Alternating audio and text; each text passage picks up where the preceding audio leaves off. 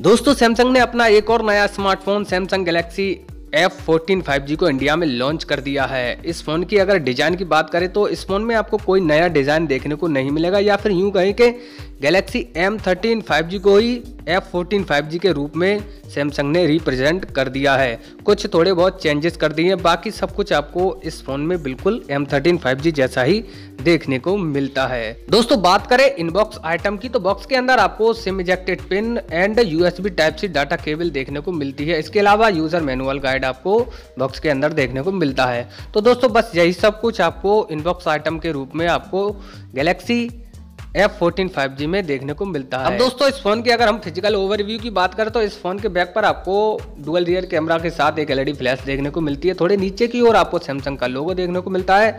इसके bottom side में आपको speaker type C port mic and 3.5 point five M M jack देखने को मिलता है।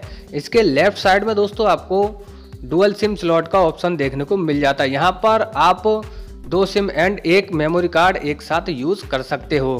इसके टॉप पर आपको सेकेंडरी माइक देखने को मिलता है। इसके राइट साइड में आपको power button and volume button देखने को मिलता है। पावर बटन में ही आपको फिंगरप्रिंट सेंसर का भी ऑप्शन देखने को मिल जाता है। इसके फ्रंट पर आपको एक सेल्फी कैमरा के साथ कॉलिंग स्पीकर देखने को मिलता है। तो दोस्तों, ये था इस फ़ोन का फ़िज़िकल ओवरव्यू।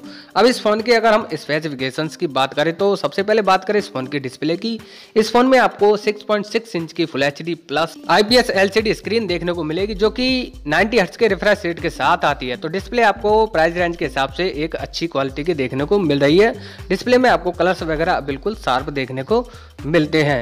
अब इस फ़ोन के अगर हम हार्डवेयर की बात करें तो इस फ़ोन में आपको लेटेस्ट एक्जीनोस 1330 ऑक्टाकोर सीपीयू देखने को मिलता है, जो कि हमको Samsung Galaxy A fourteen five G में भी देखने को मिला है। तो काफ़ी अच्छा हार्डवेयर है हैवी से हैवी सेटिंग्स के गेम आप इस फ़ोन में आसानी से प्ले कर सकते हो।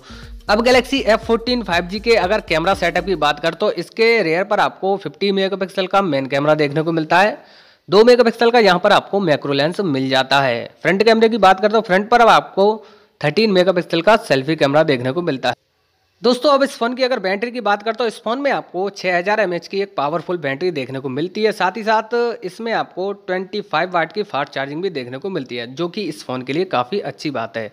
इस फ़ोन की अगर हम स्टोरेज की बात करें तो यह फ़ोन दो स्टोरेज वेरियंट में आपको देखने को मिलेगा। इसका four G RAM and sixty four storage वाला फ़ोन आपको पंद्रह हज़ार के आसपास देखने को मिल सकता है। वहीं इसका second variant four G B RAM and one twenty eight G B वाला फ़ोन आपको पंद्रह हज़ार के ऊपर देखने को मिल सकता है। तो दोस्तों, ये था इस फ़ोन का छोटा सा रिव्यू एंड अनबॉक्सिंग अगर दोस्तों आपको यह फ़ोन की वीडियो अगर अच्छी लगी हो तो प्लीज़ वीडियो को लाइक करें और हमारे चैनल फ़ोन हिंदी को सब्सक्राइब करना ना भूलें।